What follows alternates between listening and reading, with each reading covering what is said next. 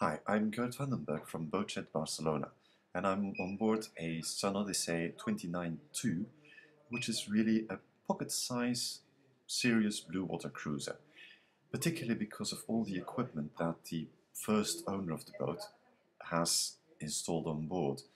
Um, his idea, he bought a boat in, in Scotland, and his idea was to go uh, doing some serious cruising. He sailed the boat from Scotland to the Mediterranean and has done some extensive cruising in the Mediterranean.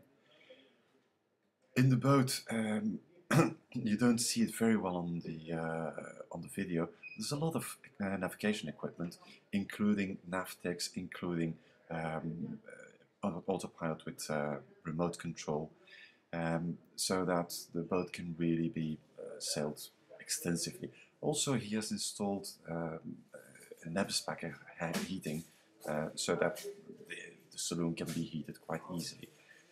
Here we see the cooker, which is a, a very big uh, model, uh, including oven and grill, and then the aft cabin.